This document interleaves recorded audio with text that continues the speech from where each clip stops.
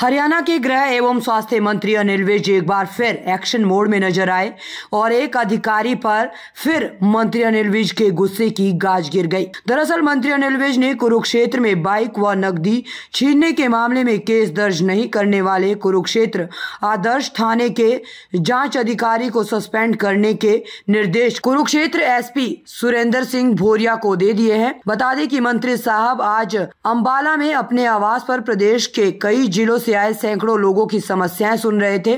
तो वही इस दौरान कुरुक्षेत्र के गाँव बारवा से आए शिकायतकर्ता ने गृह मंत्री अनिल विज को शिकायत देते हुए बताया कि कुछ महीने पहले वह कुरुक्षेत्र के एलएनजेपी अस्पताल में इलाज कराने के लिए गया था, लेकिन वहाँ पर तीन लोगों ने उसके साथ मारपीट करते हुए उससे नकदी और बाइक छीन ली। वह दो आरोपियों को पहचानता भी है और घटना के दिन ही उसने आदर्श थाने में शिकायत भी दी। उसकी शिकायत एक आईओ के पास गई थी और आईओ उसे केस दर्ज करने का केवल झांसा दे रहा था। मामले में आज तक पुलिस ने केस दर्ज नहीं किया तो वही गृह मंत्री अनिल विज ने इस पूरे मामले को गंभीरता से लेते हुए कुरुक्षेत्र के एसपी को फ़ोन कर संबंधित आईओ को तत्काल प्रभाव से सस्पेंड करने तथा केस दर्ज कर छानबीन करने के निर्देश दिए।